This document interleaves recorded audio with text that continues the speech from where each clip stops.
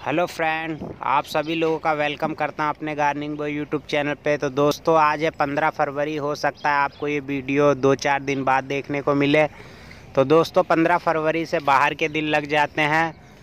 तो हमें अपने गमले की जो मिट्टी है, उसको निकाल के हमको जड़ों को रूट रूट प्रूनिंग करनी है। तो दोस्तों, रूट प्रूनिंग करने से यही होता है कि आने वाली गर्मियों में हमारे अच्छे से पौधे, फल, फूल दे सकें। तो आज की वीडियो हमारी रूट प्रूनिंग पे होगी तो आपको इसमें पता लग जाएगा कि कैसे रूट प्रूनिंग करते हैं। तो देखिए दोस्तों, ये हमारे पे गमला है। तो ये हमारा गमला है कि 16 इंची है और ये है हमारा 10 इंची। तो आज हम 10 इंची से 16 इंची में इस प्लांट को ट्रांसफ़र करेंगे और इसकी कुछ जड़ें भी काटेंगे। साइड साइड से इसकी मिट्टी निकालेंगे। तो आप वीडियो में बने रहिए। तो दोस्तों, हमने इसमें से कुछ मिट्टी निकाल ली है। तो दोस्तों, ये काम आपको आराम आराम से करना है। तो हमने इसमें कुछ मिट्टी निकाल के, अब इसका जो ट्रंक है, उसको हम ऊपर से हल्के से पकड़ेंगे और धीरे धीरे हिलाएँगे। देखिए, कोई ज़ोर ज़बरदस्ती नहीं करनी है। तो ये देखिए, पूरी की पूरी रूट बॉल हमारी बाहर निकल आई है।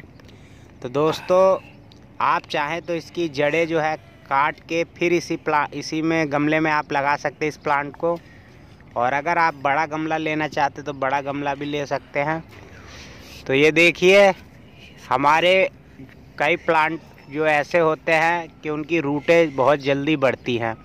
तो हमारे कुछ दोस्तों की शिकायत रहती है कि हमारे प्लांट में फ्लावर नहीं आते या फ्रूट नहीं आ रहे तो उसका एक ही कारण होगा कि रूट प्रूनिंग उसकी की जाए। क्योंकि गमले में उसको उतनी स्पेस नहीं मिल पाती है ताकि वो अपनी जड़ें फैला सके। इसलिए रूट बाउंडिंग हो जाती है। तो आप जब देखें कि हमारे गमले की, गमले को एक से डेढ़ साल हो गया तो आप उसकी रूट प्रूनिंग ज़रूर करें। तो आज फिर इसको देखिए। रूट प्रूनिंग करने का एक और है तरीका। जब आपको रूट प्रूनिंग करनी है तो गमले में पानी देना बंद कर दें। इससे क्या होगा कि आपका जो रूट बॉल है, वो पूरा बाहर आ जाएगा। तो देखिए, इसकी हम सारी जड़ें नहीं काटेंगे। आप इसकी 50 परसेंट जड़ें काट दीजिए। तो बाकी जड़ें ना काटें और आपको ये काम हमेशा बरसात के दिन में करें या फिर बाहर के दिन में करें, जैसे 15 फरवरी से 15 मार्च तक। तो आप उस समय ऐसा काम करें। अगर आप गर्मियों में करेंगे तो आपका प्लांट जो है सरवाइव नहीं कर पाएगा और वो डेड हो जाएगा। इसलिए आपको ये काम हमेशा जब भी करना है जब मौसम में नॉर्मल हो, ना गर्मी हो, ना सर्दी हो, और सबसे अच्छा तो टाइम यही होता है कि आप ये काम बरसात में करें। तो देखिए दोस्तों, ये जो जड़ें हैं, ये जड़ें हम इसी में डाल देंगे क्योंकि ये अब प्लांट से कट हो चुकी है तो ये धीरे धीरे डीकम्पोज हो जाएँगी। तो ये मिट्टी हम फेंकेंगे नहीं, मिट्टी कभी भी ख़राब नहीं होती है, बस इस मिट्टी में यही हम दोबारा से खाद डाल के और इसको दोबारा गमले में भर देंगे तो हमारी ये मिट्टी दोबारा से तैयार हो जाएगी। तो ये देखिए, ये जड़ें धीरे धीरे डिकम्पोज हो जाएँगी इसमें पड़े पड़े और देखिए, ये हमारा रूट बॉल है। दोस्तों, हमने इसकी 50 परसेंट से ज़्यादा ही जड़ें काट दी हैं। तो आपको दिखाते हैं, अब इसको हम इसी गमले में लगाएँगे।